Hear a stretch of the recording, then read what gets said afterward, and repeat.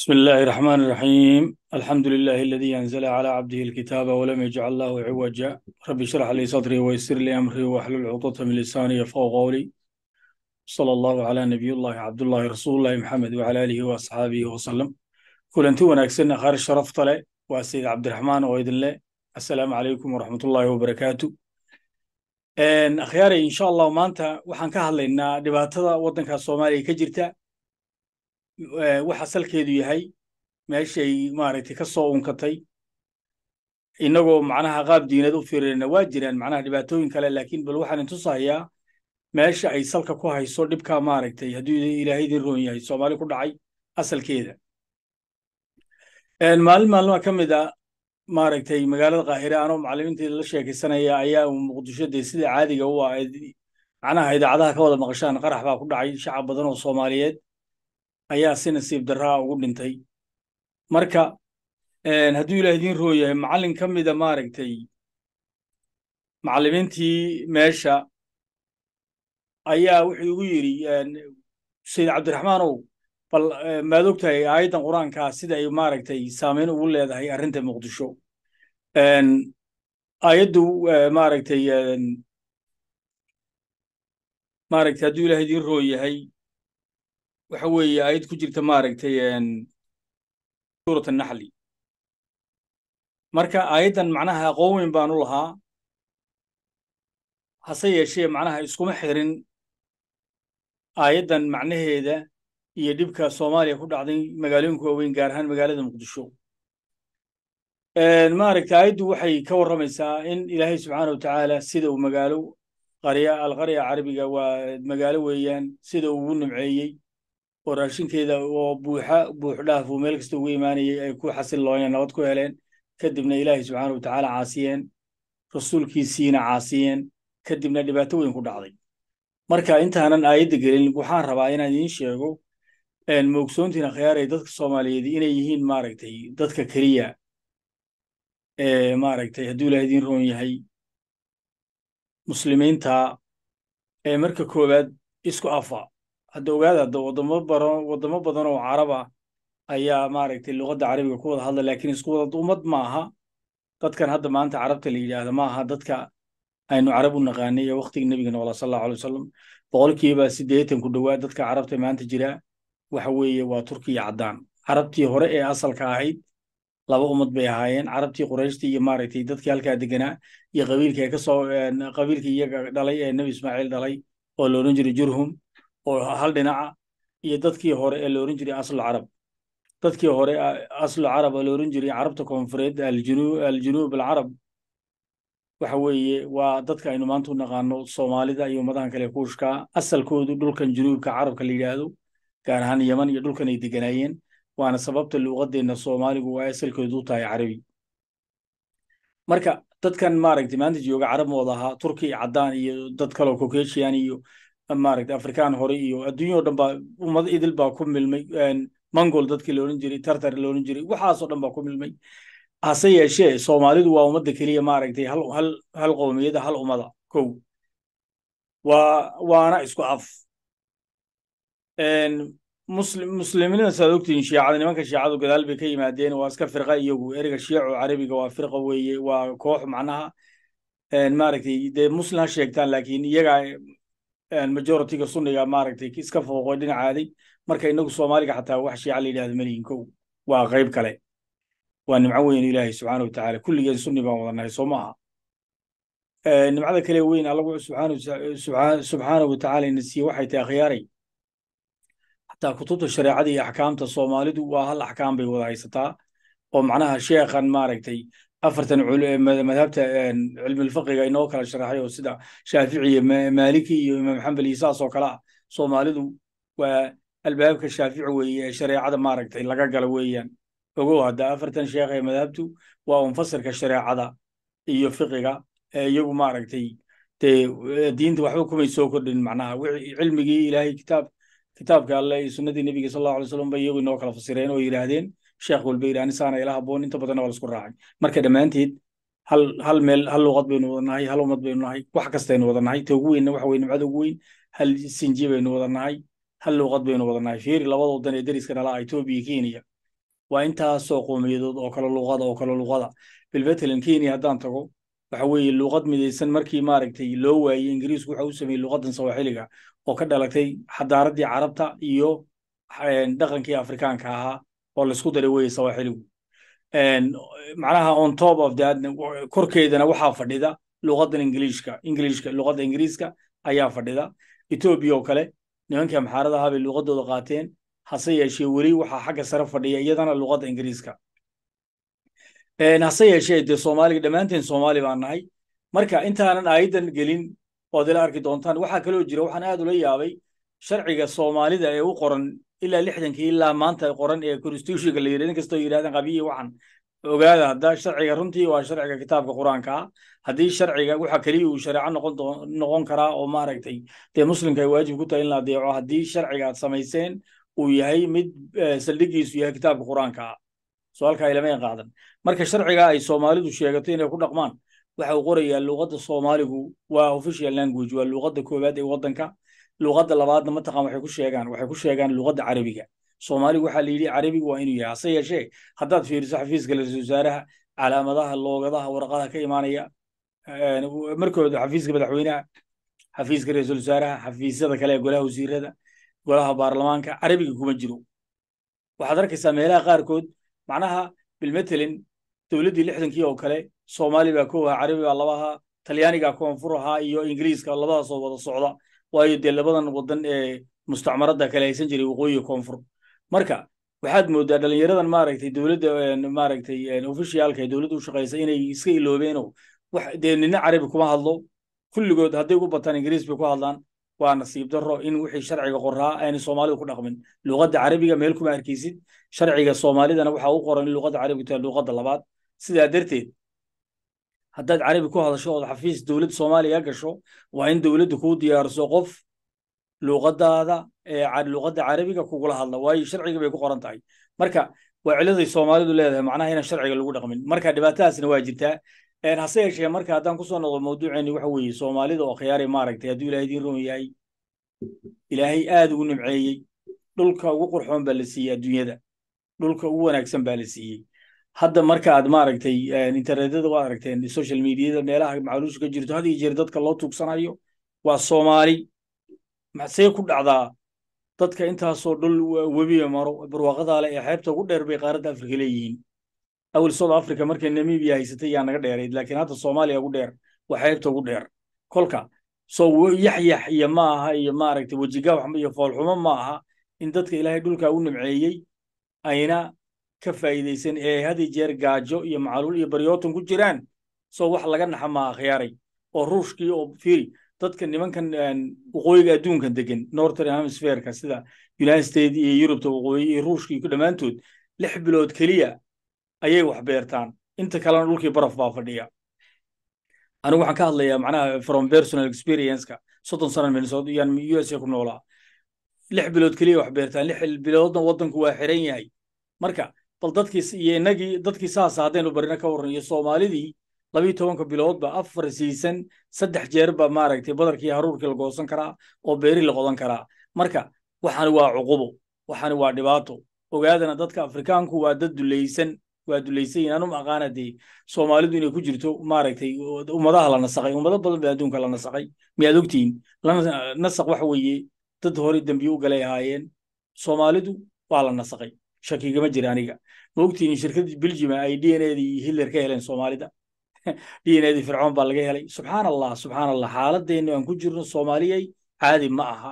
Waxaan u baahannahay inaanu ilaahay u noqonno oonu ilaahay dembi dhaaf weydiisanno. Cadaawaddan weynaatay ee qabiilada soomaalida u dhaxaysa maaragtay xaggee ka soo jeedaa xaggee ka timid dhibkani xagguu ka taagan yahay. Marka nimankii markay aayadda ay sheegeen nimankan carabtuna waxa weye luqaddu luqadan carabiga waa luqadoodii ay dee weli ku hadlaan. Innaga soomaaliga qof wax bartay oo soomaaliga hore yaqaano baa garan kara in ereyo badan oo asal soomaali ay qur'aanka ku jiraan hase yeeshee shacabkeena caadiga ereygii qur'aaniga ama carabiga ku hadlayna haddana waxaan u haysanaa inuu iska afrikaan yahay soomaali yahay. Marka nimankii marka ii sheegeen wallaahi aayaddii aad baan uga argagaxay bal ila fiiriya aayaddu waxay tahay khiyaaray hadduu ilaahay yidhaahdo waxaan rabaa maaragtay inaad idin tuso aayaddan hadduu ilaahay idmo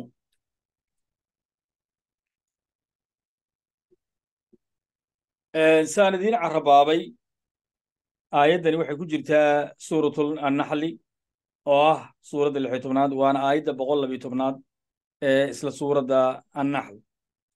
Marka bal waa kana fiiri bal fiiri waa kanay acuudu billaahi min ashaydaani arajiim allah wuxuu yidhi wadaraba allaahu mathalan qaryatan. Ilaahay wuxuu idiin soo bandhigayaa oo idin tusayaa oo idinka sheekaynayaa mathalan tusaale qaryatan magaalo. Alla wuxuu yidhi subxana wa tacaala magaalo ayaan tusaale idiin siinayaa. Magaaladaasoo kaanad ahaatay aaminan. Magaalo waxay ahayd aamina oo nabada. Aaminatan nabad bay ahayd oo aamina. Mudma'inatan nabadda alla siiyana waxay ahayd mid ku xasishay oo nabada.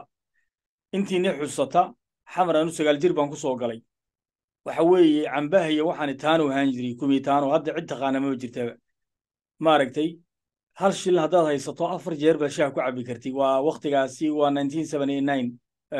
sagaal iyo toddobaatankii marka waxa weeye macnaha barwaaqada ku jirtay soomaaliya waxa weeye wax yar ma ahayn nimcada taallay xisaab ma lahayn. Fiirsada marka.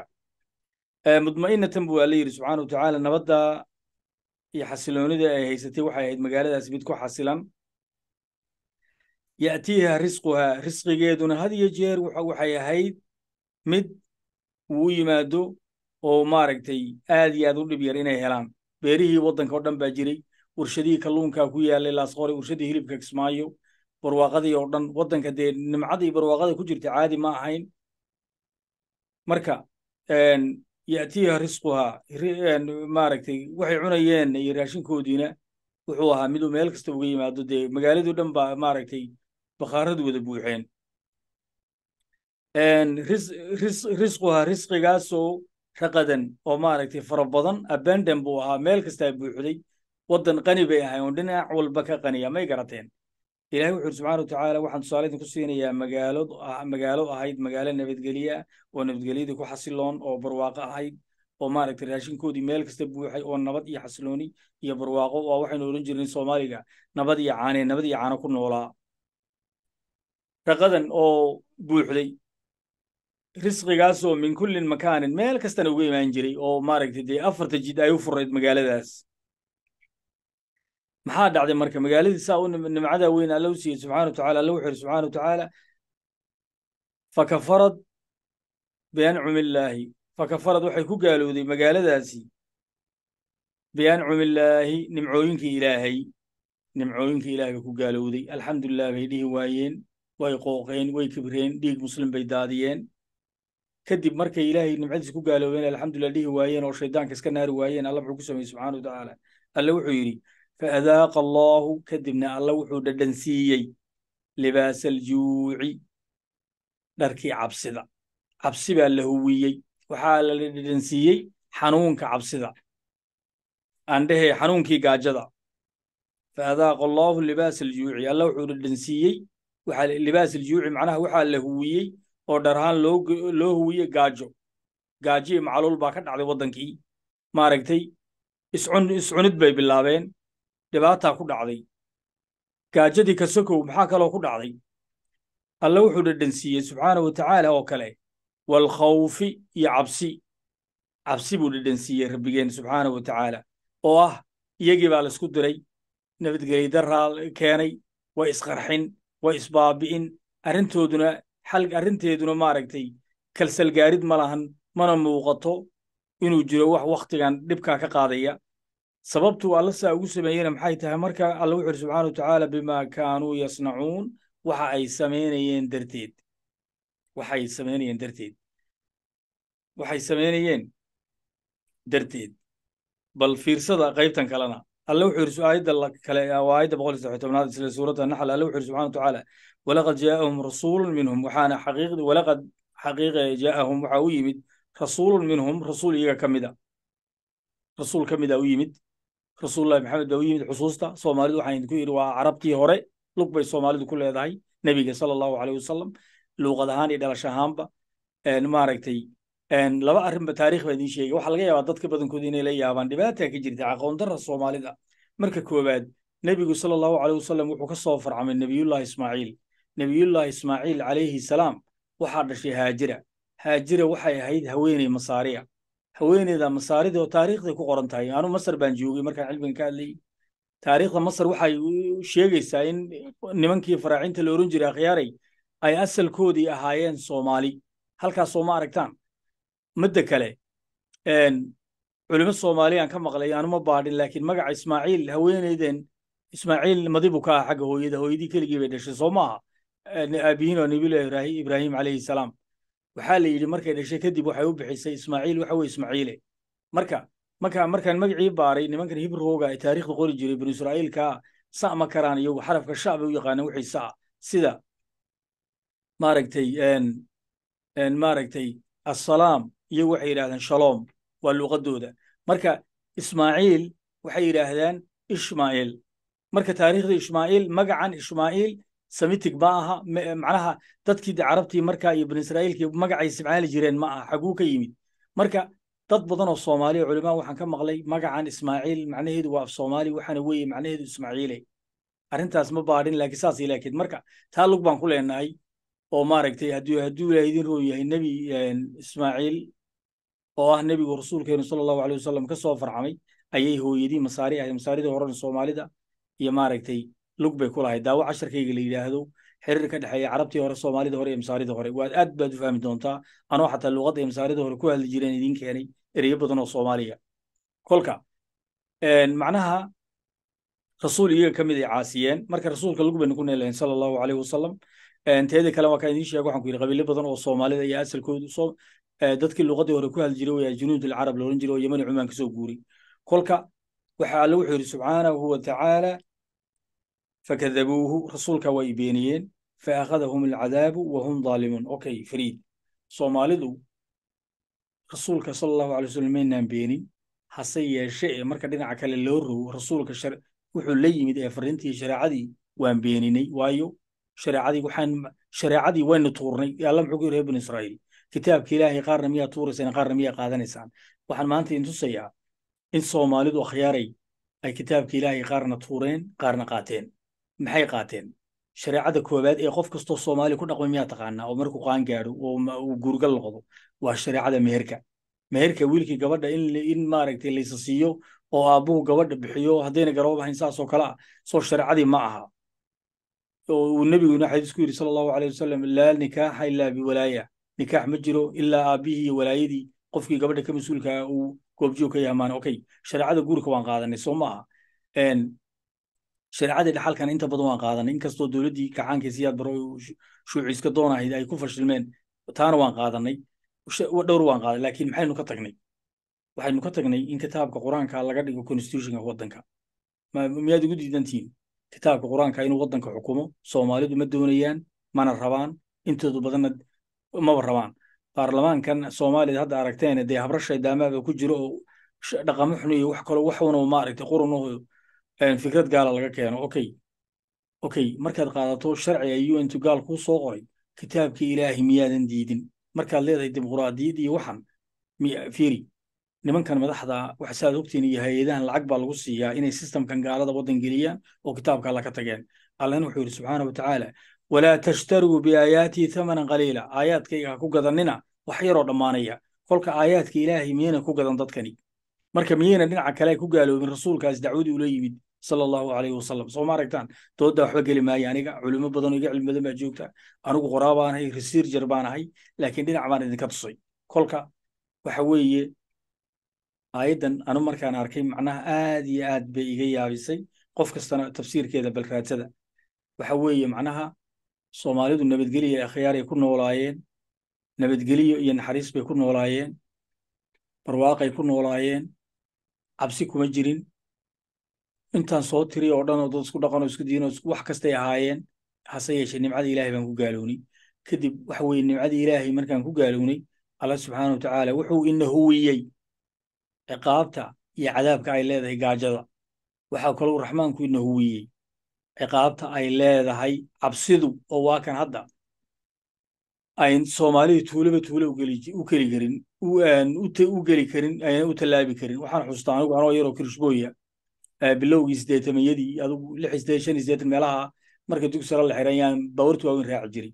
Gaarigaad xamar ka soo baxdo geeska saylac buu tegi jiray. Xaggan kalena dhooble iyo kismaayo meel kastuu tegi jiray. Marka nabadda macnaha ay soomaalidu haysatay iyo xasiloonidii ilaahay baan ku caasinay kitaabkiisii baan tuuray wax walbaan samaynay. Marka kuwii maaragtay cadowgeenna ahaa soomaali cadowgeedii baa loo dhiibay soomaalidu waxa weeye maaragtay akhyaari xayawaankan bafla la yidhahdo libaax intuu qabto. Libaax uu carabka laalaadiyo xayawaankii baflaha libaax uu libaaxii carabka saa ku leeyahay halkuu iska celin lahaa hujeeniga ku dhufan lahaa. Soomaalida cadowgeennii baa laynoo duleeyey. Dulli baa ina koray. Dulligaana waxa koray waxa saaray waxa weeye waa nimcadii ilaahay oynu ku gaaloonay. Ilaahay oynaan u mahad celin alxamdulilah niri fiiri. Qabiilba qabiil buu maanta haystaa. Kuwan madaxdaana waxay meeshu joogaan inay kala qaybiyaan dhammaantoodna waa foreign agent marka akhyaari waxa weeye waxaan doonayaa hadduu ilaah yidhaahdo aynu ka bilowno inaynu alla u soo noqonno rasuulkiisa rumayno dacwada sideeta aynu u qaadano aayaadka alla qayb ka mid inaynaan qaadan. Imise bangi baa ribe iyo qurunkan ku dhisan. Imisaa saasa alla miyuuna dhihin subxaana wa tacaala. Maaragtay hadilina naf ilaahay xarimay dilkeeda ilaa bilxaq maahane imsa soomaaliya wax disha bal waxaan wax isdilayaday bal kuwan diintii wadaadada sheeganaya dadka xasuuqayaday maxay tahay fidnaday arrintani soomaalidu meel meel dhow laga fiiriyey akhyaaray arrintani waa deep down. Waxa weeye soomaalida ciqaab minallaahi baa ku dhacday. Haddii aan la halligin oo dhulka lala goyn ayay nasiib leeyihiin kolka dhammaantiin aynu ilaahay u soo noqonno shaydaankan aynu iska naarno. Maaragtay shaydaanku aad iyo aad buu soomaalida uga dhex shaqaystay meel kastuu galay waxa weeye cadaab iyo cadownimo iyo cadaabba ayaa gunta lainoo geliyey. Ayad kalena oo suuratul maaragtay suuratul ancaam ku jirtana alla wuxu yidhi subxaana watacaala haddaad ilaahay diidaan inaad u hoggaansataan oo kitaabkiisa raacdaan qaar wuxuu la siin doonaa xanuunka ay leedahay inuu qaarba qaarkiina kala xasuuqo. Soo ma aragtaan? Oo birta iska aslaysaan. Kolka waxa waaye akhyaaray ilaahay subxaana watacaala aynu u soo noqonno. Soomaalidu waa inay ilaah u soo noqoto. Salaada ka bilow aynu waanino dee ilaahay nimcadiisa subxaana watacaala aynu u mahad celino akhyaar intaasaan ku dhaafaya. Assalaamu calaykum waraxmatullahi wabarakaatu fadlan fikirkaaga waa muhiim halkan ii qor waanan soo dhoweynayaa aad baad u mahadsantihiin asalaamu calaykum